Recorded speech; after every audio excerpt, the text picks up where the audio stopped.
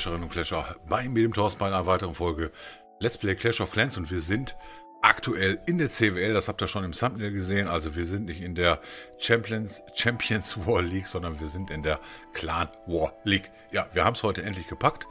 Also wir haben heute na, recht früh gestartet, muss ich sagen, so ein paar Ungereim, Ungereimheiten und ähm, Wartungen gab es ja noch dazwischen, aber wir haben dann relativ schnell hier diese Battles gefunden und ach, ich bin ja in sehr, sehr häufigen, oder nicht in sehr, sehr häufigen, aber ich bin ja in, in einigen Clans, die absolut gemischt sind, muss ich sagen. Und ähm, auch wir hier beim Clan SMS, also speziell mit Soos, sind ja nicht so gerade mit den RH12ern gesät. Also wir sind hier acht RH12er im Moment in diesem Clankrieg, haben ein paar Elfer mit, mitgenommen. Ihr seht das hier so ein bisschen im, im, ähm, im Line-Up hier.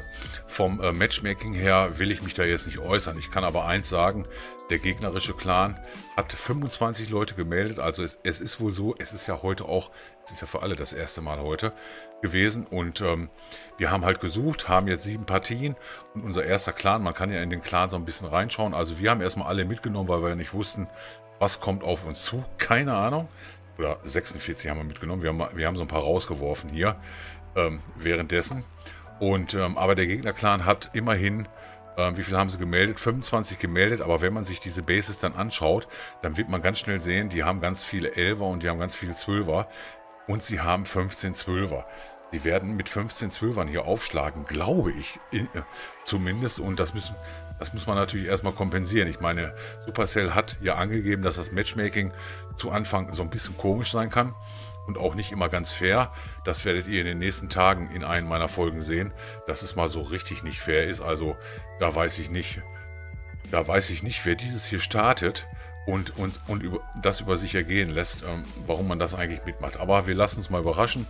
Also auch wenn, ähm, wenn diejenigen, äh, das war, haben wir heute schon festgestellt, ich habe heute mal meine Clanbook geleert hier. Also ich habe mal den Babydrachen rausgenommen und einer von unten, der hier jetzt nicht gelistet ist, also ein Rathaus 10er, kann mir trotzdem hier reinspenden in die Clanburg. Ähm, ist natürlich sehr, sehr nett, dass es nicht einer von diesen 15 machen muss. Also haben wir einfach mal getestet. Und mehr wissen wir ja auch noch nicht. Wir gucken mal, wir haben uns die anderen Gegner auch schon angeschaut. Da passt es so in etwa, aber in einigen Clans, in denen ich bin, da passt das überhaupt nicht. In einem Clan, wo ich zurzeit bin, ähm, das zeige ich euch einmal hier. Äh, dort suchen wir sicherlich noch ähm, den einen oder anderen, denn es gibt auch, ja, ich bin ja auch mit dem Avatar so ein, so ein kleiner Weise. Also ich bin in keinem, entschuldigt bitte, ich bin in keinem Clan und ähm, ich habe aber heute im Discord mitbekommen, beim ähm, in der CW, in der GML ähm, Liga, dass äh, dort der, dieser Clan hier, der Clan GML All-Stars, einfach mal auch an der Liga teilnimmt. Die sind jetzt noch aktuell im CK und die suchen noch so ein paar Leute, die hier einfach auch Clan League mitspielen wollen. Wir werden sicherlich hoffentlich, wir werden hoffentlich noch genug. Also ich muss die Werbetrommel noch ein bisschen rühren, dass wir hier denn auch ein paar sind. Also im Moment sind die hier noch im CK, aber das ist einfach mal für Leute, die natürlich gerne Clan Wars spielen. Ich bin ja auch einer davon. Ich spiele ja super gerne Clan Wars, aber im Moment äh, mit meinem Rathaus 9ern und mit dem 8er, 7er, weiß der Geier, da ist das erstmal vorbei, weil da werden ja erstmal nur die hohen Rathäuser mitgenommen und das, deswegen kannst du fast sagen, acht Tage hast du hier Ruhe von diesem Spiel oder du machst halt, du farmst halt, machst deine Helden, äh, hast keinen Stress im CK, weil es nimmt dich eh keiner mit. Und ähm, das finde ich noch so ein bisschen, ah, ich, ich muss sagen, ich finde es ein bisschen komisch. Ähm, ist natürlich ein bisschen doof, denn in diesen acht Tagen findet ja kein CW normaler Clankrieg statt. Und äh, diese ganzen Accounts machen jetzt erstmal acht oder neun Tage kein CK. Ich weiß nicht, bei mir hier in, der, in den Events steht hier drin, ähm, dass die äh, Clan War Liga erstmal neun Tage geht. Das heißt, neun Tage, zwölf Stunden liegt jetzt mein weiß ich nicht genau, mein Rathaus 9 erstmal hier brach in dem Clan. Ähm, ob er dann spielt, die werden mich ja nicht mitnehmen als Rathaus 9er, weil wir haben, wir haben ein paar Zwölfer, wir haben ein paar Elfer, die werden die Clan-Ligen spielen, aber die Rewards bekommen ja letztendlich alle, wenn auch so ein bisschen aufgeteilt später vom Leader. Und ähm, ich kann es echt noch nicht greifen. Dieses, dieses Clan War League Update ist mir noch ein bisschen, ist mir noch ein bisschen ungeheuerlich. Aber mal, um auf die ähm, um auf das Video von gestern zurückzukommen. Ähm, ja, da habt ihr das erste Mal ein Video gesehen, aber ich zeige euch einfach mal die Wiederholung von meinem Attack hier. Wir haben übrigens keine Wiederholung hier, deswegen zeige ich euch mal einen ganz netten hier mit, dem, mit den Event-Truppen. Die sind ja echt nett, ne? Äh, von mir nebenbei, während, ich das mal so ein bisschen erzähle, ähm, wir haben halt so... Jetzt habe ich gerade einen, einen Faden verloren. Achso, jetzt habe ich den Faden wieder. Ja, zu dem Video von gestern. Das war eine YouTube-Neuheit. Das heißt also, ich habe gestern ein oder vorgestern ein Video abgedreht, was ich als Premiere eingestellt habe. Denn ihr wisst, ich habe zurzeit Urlaub und kann da so ein bisschen ja, bei meiner eigenen Premiere dabei sein. Das heißt, ich habe das Video für 14 Uhr ähm, ja, geplant und es sah ja so ein bisschen aus wie ein Livestream. Ähm, das kann ich, werde ich euch gleich auch zeigen. Ich habe mir das heute mal an den mobilen Geräten angeschaut, wie das eigentlich so aussieht. Und ähm, das heißt also, viele haben gedacht, oh, Toto bringt um 2 Uhr ein Livestream, ist ja geil. Nein, es war mein normales Tagesvideo, aber trotzdem haben wir über 50 Zuschauer gehabt, ähm, die an diesem normalen Tagesvideo teilgenommen haben. Denn natürlich bin ich dann als Publisher, so will ich es mal sagen, online und kann mit euch so ein bisschen über das Video diskutieren, über das Thema diskutieren. Ich fand es ich finde die Idee wirklich, wirklich gut und ähm, ich glaube, ich glaube, es kam auch ganz gut an. Das kann ich natürlich nicht jeden Tag machen, weil ich kann nicht jeden Tag, wenn mein Video rauskommt, je nachdem, wie ich dann, wie ich es denn plane, zu welcher Uhrzeit, ähm, kann ich natürlich nicht ähm, am Rechner oder am, äh, am, am, Tablet oder am Handy sein und mich euch da ähm, bisschen diskutieren und ähm, wie ihr das Video findet, wie ihr den Inhalt findet, wie ihr das Clash of Clans zurzeit findet, also um was es eigentlich in diesem Video geht. Aber ich glaube, das war mal, ich glaube, es war eine gelungene Premiere. Es hat mich auf jeden Fall gefreut, dass so viele da waren. Wir haben echt viel getippt und ich werde euch gleich äh, kurz mal zwei Screenshots zeigen von meinem Handy aus, äh, denn die habe ich jetzt heute Abend nochmal aufgenommen, um zu zeigen, so sieht das am mobilen Device aus. Denn ihr könnt euch dem, ihr könnt natürlich das, das Video danach ganz normal als Tagesvideo bei mir sehen. Aber das Besondere ist, man kann auch mal den Chat sehen. Man kann sagen, was hat denn der, was hat denn der alte Sack eigentlich dazu gesagt? Und ähm, so will ich es mal sagen. Also so ist es ja nicht. Aber ähm, und äh, so kann man das Ganze nochmal Resümee passieren lassen. Vielleicht habe ich ja noch was ausgeplaudert oder ihr seht da, wie meine Planungen demnächst sind. Und ähm, ich, ich, muss sagen, ich fand es ich fand's wirklich, wirklich nett, dass auch so viele Leute da waren. Äh, das, das hat mich wirklich gerührt. Und, ähm, und das hat mir natürlich so ein bisschen auch den Ansporn gegeben, das Ganze so ein bisschen, ja, mal, mal zu wiederholen, ähm, so gut, so gut ist, es eben geht. Aber also es geht äh, immer dann natürlich gut, wenn ich irgendwo im Homeoffice bin oder ich bin an einem Ort, wo ich dann genau diese 20 Minuten, ich glaube, das Video war ja 22 Minuten lang, einfach mit euch im Chat dabei sein kann, wenn das Video rauskommt, direkt live. Ähm, man sieht, glaube ich, die Videolänge nicht, habe ich jetzt gesehen. Deswegen hat jemand gefragt, wie lange geht denn das eigentlich? Und, ähm, aber ihr wisst, meine Videos liegen immer so zwischen, zwischen 15, 20 Minuten, so geht das ja meistens in der Regel.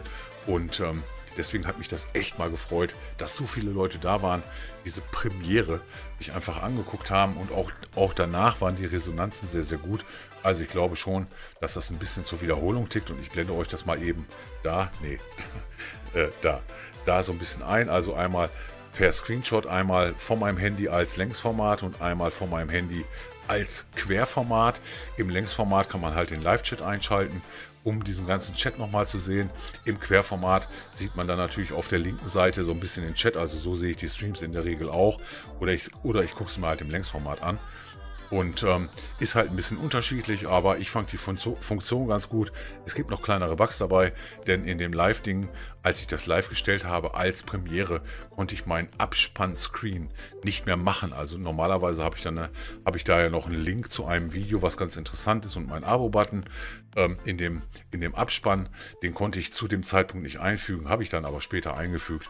Ich hoffe, das Ganze ist hoffentlich ganz gut bei euch angekommen. Ich kann es nicht genau sagen, weil ich selber war ja live mit dabei und ähm, das ist auch das Witzige. Ich, ich gehe einfach mal in die Suche. Ich hoffe, ihr habt ja nichts dagegen. Äh, das war auch das Witzige, dass ich einfach mal mein Video, ich meine, ich gucke meine Videos immer quer, ob da was doof ist, ob ich ähm, blöd rüberkomme, nochmal was rausschneiden müsste ähm, oder was auch immer, zum, zum Beispiel dieses Kopfkratzen hier oder ähm, in meiner Föhnwelle hier reinfummeln äh, oder euch die Lupe hier rauspinne. Das ist ganz unterschiedlich und äh, deswegen gucke ich das eigentlich immer äh, mindestens ein, zwei Mal noch, noch mal quer. Vielleicht schneide ich es dann noch mal um, weil irgendwas nicht passt. Aber äh, da habe ich es einfach mal genauso gelassen, wie ich es aufgenommen habe. Genau wie dies hier auch. Aber ich glaube, die Lupe schneide ich euch doch raus. Ich weiß nicht genau, warum die immer so lange sein muss hier. Auf Titan. Ich bin im Moment nur in Titan 2. Und ähm, ich komme einfach wieder rein, wenn das Ding hier weg ist. Ja, wir haben relativ schnell einen Gegner gefunden. Ist wirklich geil, denn ich nehme mal wieder ultra spät auf. Äh, kann, kann ich das eigentlich euch zeigen? Ja, 23.14 Uhr. Also ich nehme echt ultra spät aus. Wechsle jetzt eben nochmal die Karre. Ich finde es total gut, dass die Karre nur noch, ah, nur noch 100.000 kostet und nur noch 20 Minuten braucht. Also ähm, das ist eine, ich glaube, das ist das Highlight für, für mich, dieses Updates hier.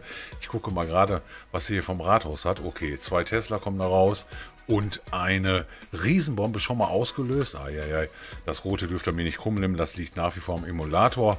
Wenn ich also die Steuerungstaste drücke und das Rad nach oben, dann zoome ich eigentlich rein. Ähm, mal sehen, ob ich das auf einer anderen Hotkey lege, dass dieses nicht immer auftaucht. Aber ich glaube, wir gehen über, über welche Seite gehen wir rein? Ja, ich glaube, wir können über diese Seite reingehen. Ähm, ihr seht das hier, ich habe eine relativ teure Armee am Start, das macht aber nichts, weil viele Truppen sind ja so ein bisschen angeglichen worden an die Preise und deswegen kann man einfach auch mal ein bisschen teurer ähm, auf die Reise gehen hier.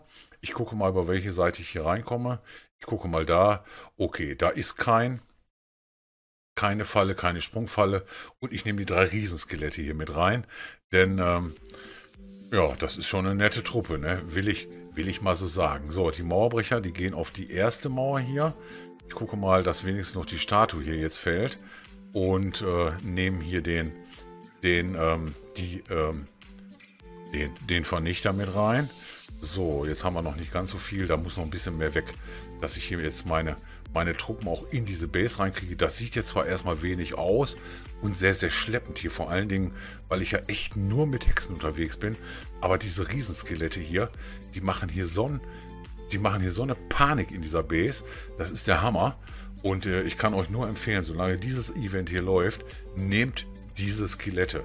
Denn sie sind echt nett. Sie sind wirklich, wirklich geil. Und ähm, was habe ich in der Clanburg? Oh, das, ich habe es ich jetzt gar nicht gesehen. Die beiden Truppen hier unten lasse ich mir erstmal ein bisschen über und ähm, kann hier ganz genüsslich erstmal so ein bisschen hin und her scrollen. So, hier kriegen wir erstmal die zwei ähm, Sachen so ein bisschen mit dem, mit, dem, mit dem Fries weg. Einmal jetzt den Worden gezündet in der Mitte. Also mal wieder pure Live-Action hier bei mir. Ähm, habe ich so ein bisschen, ja, so ein bisschen so geplant. Ich brauche im Moment nicht so viel, habe keinen Bauarbeiter frei. Ich muss auch, auch selber immer ein bisschen gucken. Ähm, bei mir, Toto, wie geht das eigentlich bei dir so ein bisschen weiter? Und ähm, aber ich glaube, die sind hier nochmal ganz gut aufgehoben. Wie sieht es hier hinten aus? Oh, da sieht es nicht, nicht so gut aus. Mal sehen, ob wir den Bohrer hier noch kriegen für das Dunkle. Aber ich habe schon genug, genug Dunkles für meinen King. Ähm, gesammelt. Das heißt, der kann auf den nächsten Level gehen. Allerdings erst nach dem CK, beziehungsweise nach dem 1 CK. Das äh, kann ich euch, glaube ich, gleich auch erklären. Haben wir heute Abend auch nochmal rausgefunden. Also ich bin hier so ein bisschen an der Front und kann so ein bisschen zumindest sagen, so wird es, so wird es sein, so wird es kommen. Äh, denn der CK hier hat jetzt nur, nur 12 Stunden Vorbereitung gehabt, hat aber einen 24-stündigen Kampftag. Und ähm, ja, das ist das ist für mich absolut in Ordnung. 2,29 habe ich jetzt. Und, ähm, oh, mein Sternebonus. Mein Sternebonus geht immerhin wieder. Der hat ja jetzt wirklich länger, der ging bei euch, glaube ich, länger nicht.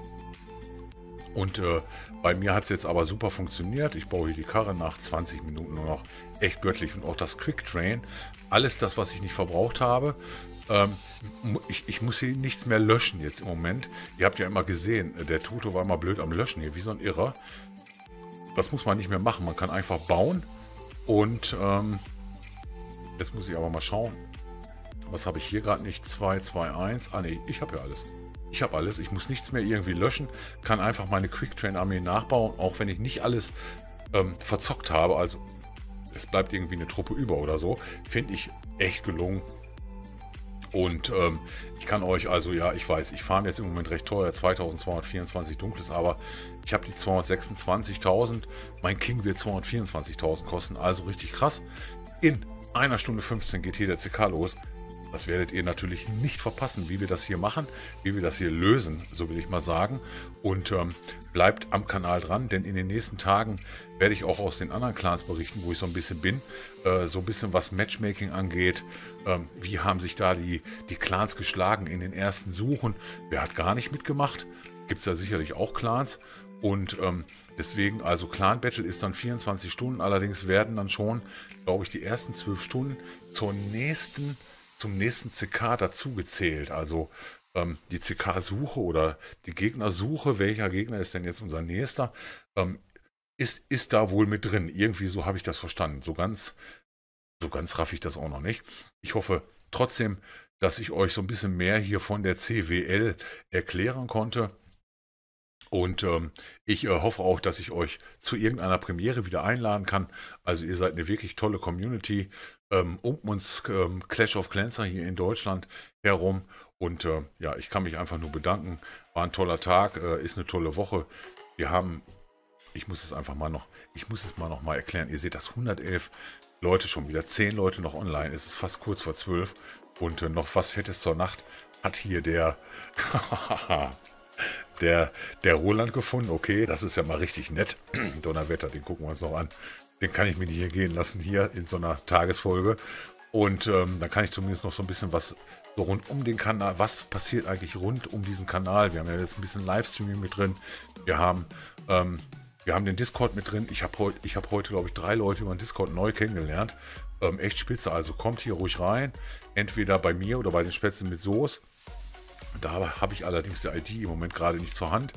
Aber äh, redet mit mir, chattet mit mir, was auch immer. In der Regel bin ich ja dann da. Und ähm, es hat heute auch mal jemand geschrieben, äh, wenn, ich, wenn ich dich nicht störe, spreche ich dich an. Nein, ihr stört mich nie. Ihr stört mich nie. Wenn ihr mich stört, dann bin ich in dem AFK-Channel äh, meines äh, Servers und äh, da, da könnt ihr sicher sein, Toto ist wirklich AFK, ist nicht da, wirklich away from Keyboard, äh, Keyboard heißt das ja. Und ähm, aber wenn ich, wenn ich bei mir irgendwo im Channel unbegrenzt hänge und ihr euch nicht traut, mit mir zu sprechen, dann könnt ihr mir ruhig schreiben über den Schreiben-Channel oder sonst wo. Also ich habe da keine Berührungsängste. Ich habe da keine Berührungsängste und äh, wir können ein bisschen plaudern, bisschen, bisschen labern. Ich finde es ähm, ganz, ganz nett, muss ich sagen. Ich finde es ganz nett. Äh, die Leute, die mich da jetzt gefunden haben, waren auch in der Regel nett. Also es waren jetzt keine Hater oder so, sondern die sind ganz normal auf mich zugekommen. Ich bin doch auch nur ein ganz normaler Mensch. Mann, ich bin ja ein ganz normaler Mensch und äh, mit mir kann man quatschen, mit mir kann das und, und die, die mich richtig kennen, die wissen, dass man mit mir quatschen kann. Äh, die loggen dann auch mal aus, wenn es dann zu viel wird. Ne? Wenn die merken, Alter, tut heute ein Redefluss. Und tschüss dann äh, ist es wohl zu viel. Also sowas gibt es auch. Äh, oh, netter Lot hier. Da haben wir nochmal einen richtig schönen Lotfight. Wenn ihr schöne Lotfights habt, unter meinen Videos in den Kommentaren ist ein Link, da könnt ihr mir eure netten Lotfights oder tolle komische Angriffe oder komische Anekdoten gerne da lassen. Eine Anekdote habe ich noch zum Schluss. Ah, geiles Ding hier, Roland. Hast du echt super gemacht, aber eine Anekdote habe ich auch noch zum Schluss. Ja, ähm, wenn ihr Clash of Clans startet, dann seht ihr quasi, dann seht ihr zwar den normalen äh, Screen, der bei Clash of Clans startet, aber schon die Halloween-Musik. Sie haben den Halloween-Startbildschirm ähm, noch vergessen. Ähm, ich denke mal, der wird noch mal ein bisschen nachgereicht. Aber ich habe hier einen Clan, beziehungsweise in den Bookmarks habe ich natürlich auch schon jemanden, der so wie ihr sicherlich auch, der den, der den komischen äh, Hut hat, also das, ähm, das ähm, äh, Clash of Clans Halloween Event äh, Gimmick oder was es auch immer ist, nämlich den schönen Witchhead hier, den Hexenhut.